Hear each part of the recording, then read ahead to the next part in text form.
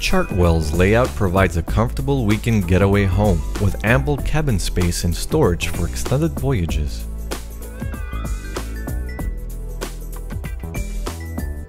Access to the three stateroom layout is either down the spiral staircase from the pilot house or down a three step passageway from the main salon. Every deck of this boat can be accessed from a short flight of steps, making movement easier for all ages. This layout easily accommodates another couple, and many visiting children have enjoyed the bunk bed cabin over the years.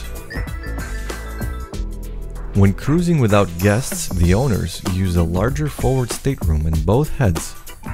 Each has a separate shower for a his and hers arrangement.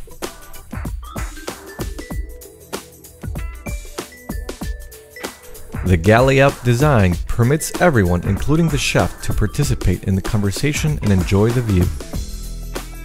Appliances have been upgraded over the years with the addition of the Avanti apartment size refrigerator, a new Force 10 3 burner electric cooktop, a microwave, and a wine cooler.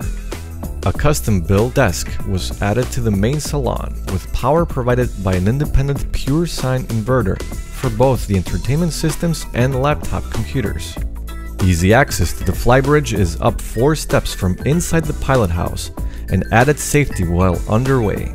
Everyone seems to enjoy the covered seating area on the upper deck while underway in good weather.